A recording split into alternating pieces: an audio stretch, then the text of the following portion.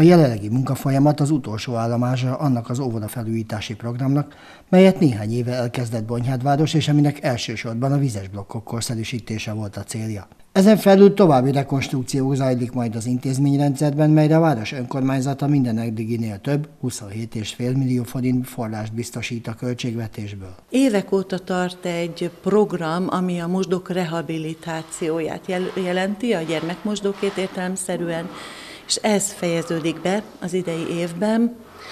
A négy óvoda közül a szélkakasos óvoda az, amelynek a mosdói nem kerültek még így be a a sorba eddig, és most a legnagyobb örömünkre, ugye itt négy nagy mosdóról van szó, ez megtörténik. Ez önmagában közel 17 millió forint kiadást jelent, úgyhogy a felújítási keretünknek a jelentős része ide fordítódik.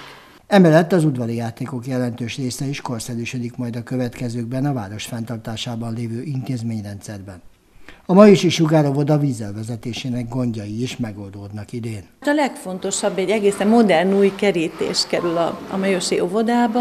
Nem is tudom pontosan a nevét, a műszaki osztálytól megkérdeztem, ez egy nagyon korszerű, modern kerítés, egy úszókapuval. A Szélkakasos óvoda felújítási folyamatában a villamos hálózat korszerűsítése is az elképzelések között szerepel, hiszen közel 50 esztendős a rendszer.